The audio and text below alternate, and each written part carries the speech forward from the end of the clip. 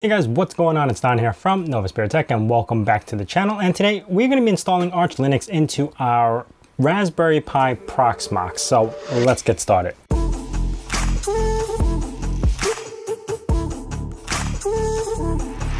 In my last video where I installed Proxmox, in case you guys missed it, I'll leave a link right on the top left over here. And somebody did mention in the comments about installing Arch Linux into Proxmox for our Raspberry Pi, which I thought was interesting because it's something I would do. So that's what we're gonna be doing today. Now, this might work on ESXi. I haven't tried it yet, but uh, the idea behind it is the same. You're just loading in ISO and just installing Arch. So to jump into it, Obviously, we're going to have Proxmox installed into our Raspberry Pi and logged into it. I've already tested it and surprisingly it runs really well. So the first thing we're going to need is actually this ISO that just recently came out in May 10th of 2022. And this is an ARM ISO. So this will actually allow you to install Arch Linux into our uh, Proxmox. Now, if you guys are familiar with how to install Arch Linux already, you could just download this ISO and continue on. Otherwise, I'm just going to show you how I do it and you could just follow along. But yeah, the steps are pretty much the same uh, installing Arch Linux into basically in a computer. So first we're gonna have to jump over to local, go into the ISO image and download that ISO. Now I already did this, so I'm not gonna do it again, but yeah, from here you could actually download from URL and just grab the URL from here and it should just transfer across. So we're gonna create a new VM. I'm gonna call this 701 and I'm to call this Arch. Next, the operating system, we'll just leave this local. Do not use any media. Next on system, we're going to change this over to, oh no, we're going to leave this I, i440FX and change this over to UEFI. And then we're going to create an EFI storage over there in local. Next, we're going to check out the disk, make sure it's on SCSI. Uh, the drive doesn't matter. You could minimum probably 10 gigs or something, but 32 is fine for me. I'm just going to use that. Uh, next up is the CPU. I'm to give it two cores and it runs really well on two gigs of RAM. If you got more, you could probably give it more. In my case, you know what? Uh, I'm just to leave in two gigs. Hit next. For the network, you could leave that as well. And then go into confirm and finish that up. Now give it a minute and this will actually turn into like, a, uh, like that basically. I'm just waiting for the lock icon to finish. Once that is done, we're gonna have to do some settings over here. So let me make this a little bit bigger. All right, uh, from here on, we're gonna go into hardware and we'll remove the CD-ROM because we can't use IDE. So we're gonna remove that, hit yes, and we're gonna add a new CD-ROM drive, but this time we're gonna use SCSI instead. So we're gonna keep it in SCSI 2. Storage, we'll use local and our ISO, which is the Arch Linux. Hit create, and then we're gonna go into options and change the boot order from SCSI 2 and move that to the top so it knows to boot from that CD. So I'm gonna hit okay. And that is it for that. So here we could just hit start. Okay, so we're just gonna boot into this installer right here. Honestly, everything works really well. Um, even the installation part was pretty good. So um, again, this is a whole guide now to installing Arch Linux, uh, similar to what you would find online or any guide that would install in Linux. The only thing that we changed is the grub install. So you might want to fast forward to that part, which I'll leave, you know, indentations into a timeline. All right, so let's begin. So the first thing we need to do is figure out what drive we have. So we're going to do fdisk-l and our drive that has 32 gigs is SDA. So that's good to know. So fdisk slash dev slash SDA is the drive we're going to be working with. Um, from here, we're going to create a new partition, primary, and we're going to keep the default number on the first partition, but this one we need to make as an EFI partition. So we're going to do 512M, oh, sorry, first sector, and then plus 512M. There we have our first sector, I mean our first partition, but we also have to change the type of this. And if you want to list it, what we're looking for is EF, which is EFI. And there we go. We changed it to uh, EFI partition. And now we need to create a second partition. So we're going to do N primary for P, second partition. It'll start right here from the first sector and it'll use up the entirety of the drive, which is 3.1 gig, 31.5 gig. And we do W to write. Now that we got the two partitions, we do have to format them and convert them to the drives that we want. So we're gonna need to do is make fs dot fat dash f32 for fat32 dev sda1 and then here we're going to do mkfs dot ext4 dev sda2 so now we formatted the second drive to ext4 from here we could do pack man syy and this will just update all the packages so we could do a pacstrap. Now we are going to need to mount dev sda2 which is our main partition to mnt so there's folder slash mnt and here we're to do pack strap mnt base linux linux firmware vim and nano just in case. And here it's to take depending on your internet speed maybe 10 15 minutes or so uh, maybe even less if you got faster internet speed but yeah it's not too bad for this process. Also depending on the desktop you're planning to choose um, that also might cause uh, increase in time just to download because you know it takes time to download a whole GNOME system if you wanted to use GNOME.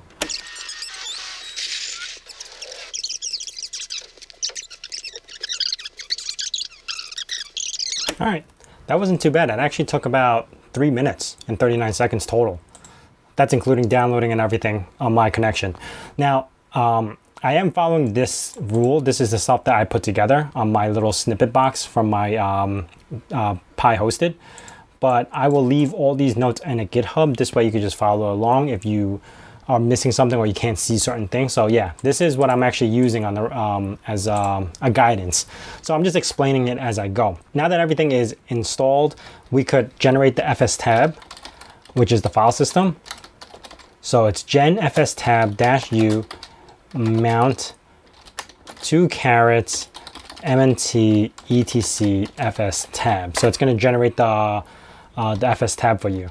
And now we could do arch ch root into mnt. So we're going to jump right into that environment. So you can see it changes from that root arch ISO to this root that has no color to it. So let me clear the screen so it gets back to the top.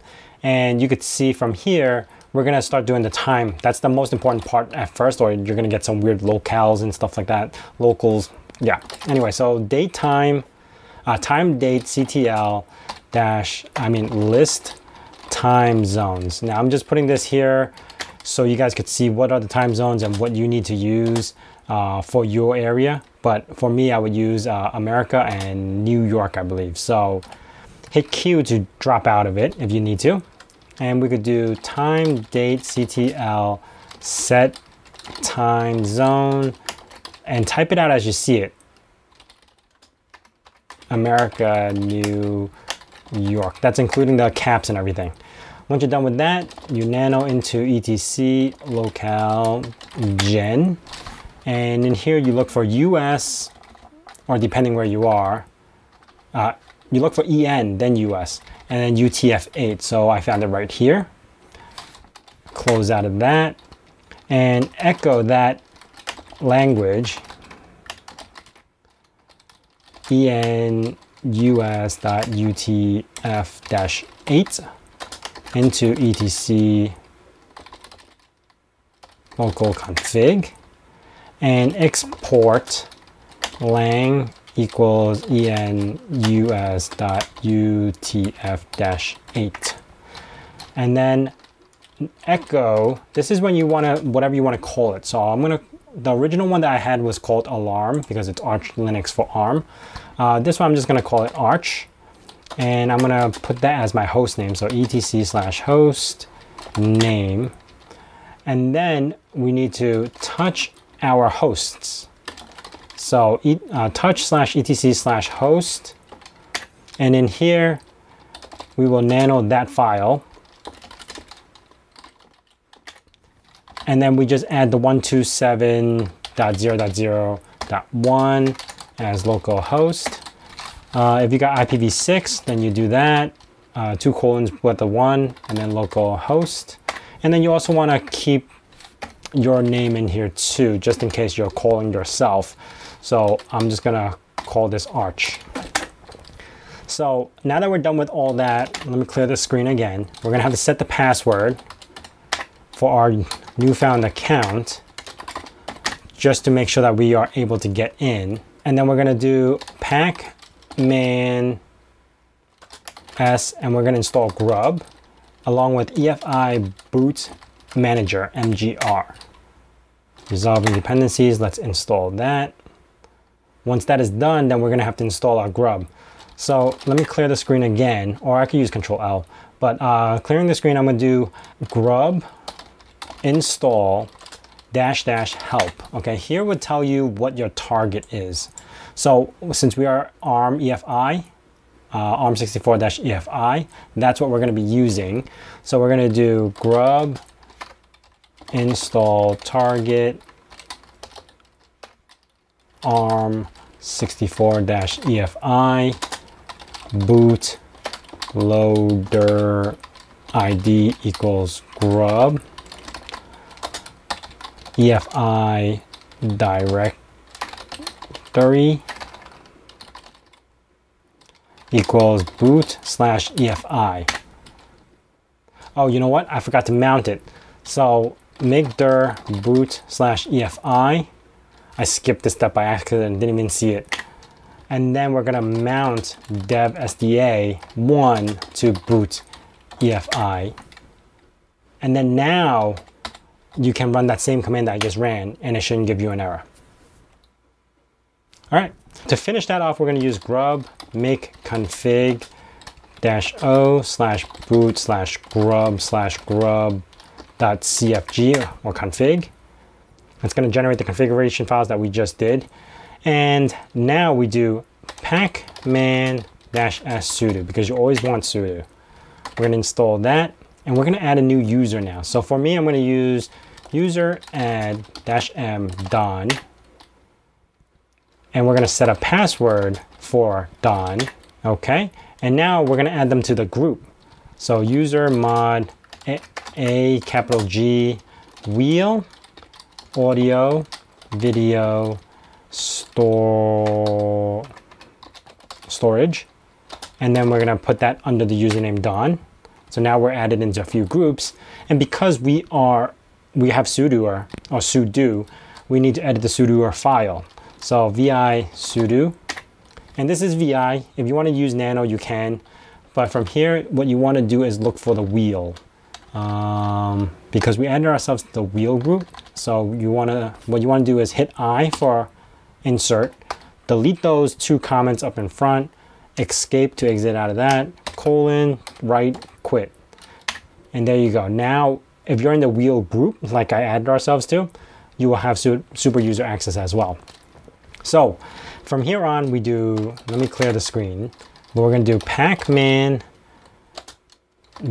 dash s xorg. Okay, we're getting into that graphical stuff now and network manager. We're going to default into those. It's going to download about 80 megs of stuff. Um, this takes, honestly, I don't even know how long this takes. Shouldn't be that long because the original install was even longer than this. So this should only take four, four or five minutes. I don't know.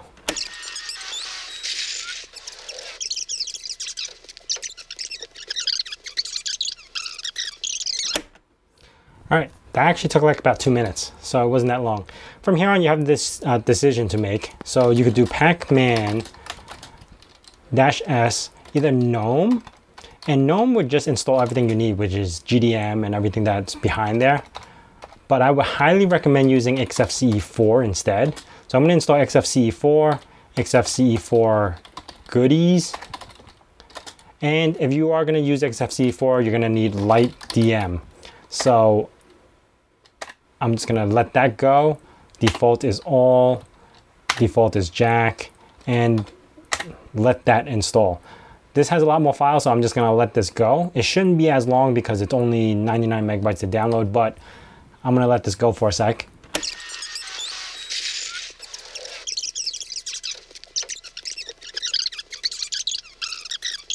All right, here we are. We are back that only took about like three minutes or so, so it wasn't too bad, but we are at the home stretch now. All we have to do now is enable the LightDM service and network manager, and we are ready to reboot. So we're gonna do system CTL, CTL, system CTL, uh, enable LightDM.service. And we're also gonna do system CTL enable network manager. It is case sensitive. Did I do a typo? I did. There you go. And now we could exit the ch root, unmount the MNT, unmount, oops, U mount MNT. If it's busy, you could U mount dash L slash MNT. And then now we could shut down now. The reason why I'm shutting down is I still have to detach the CD-ROM, so I'm forcing this to shut down. And now I could go into hardware. Um, I could go into the, where is it, the CD-ROM and edit this to remove, do not use any physical media. And then also just for giggles, I would go into boot order and remove that from the boot order. Actually, just move it to bottom, hit okay. And we could start this back up, jump back into our console. And if everything worked out correctly like it should, you should be presented with the desktop and a login. Oh, there you go. Our grub is working. So that means the EFI is loaded. It's going to load the image. Give this a second. This does take a while to populate the display. It's doing something, you can tell. So you can log in for the first time. I got XFCE installed here. Uh, you can play around with the resolution. I do have like a 720 resolution right now, so it looks a little janky, but it still works. If I open up, uh, not this thing, but my file, it's really responsive, and this is still booting up. Uh, maybe if I go into is the system, and I have my task manager, I can show you guys on first boot, I'm only using, with the file manager open, 293 megs of space, I mean of uh, memory, and I do have two cores in this version as well with two gigs of RAM. So it actually is, it runs so well. It just, it just runs so well. Now it does take a little bit longer to load an application. Like right now I just clicked on Firefox and there we have it. If I wanted to go into Google, which I practically am in, um, loads pretty good. It's very responsive, especially for a VM. And yeah, it, it works really well. Um, videos don't play that well, obviously, because there's no video acceleration. So if you're going to watch YouTube videos on here, it's not going to work. It will load and everything, but it's not going to work that well. Otherwise, super responsive. Um, I could open, I don't know, let me see, an accessory. Let me open, say, mousepad. Let's see that. Now, again, I have a lot more stuff installed in this one. That's why the storage I'm not really showing, but I can show you what I got. Uh, so I can go into disks. And here I have multiple applications loading. You see that? And it still runs pretty good. So there we have it, installing Arch Linux into our Proxmox Raspberry Pi. So if you have any questions about this or having a hard time, hit me up down in the comments below or hit me up on our Discord so, you know, we could chit chat, it's faster there. And I always miss comments anyway because of how YouTube works. If you guys are new to this channel, consider subscribing and also hit that bell notification icon so you know when the next video is going to be out. And as I say my nerd cave, hack till it hurts.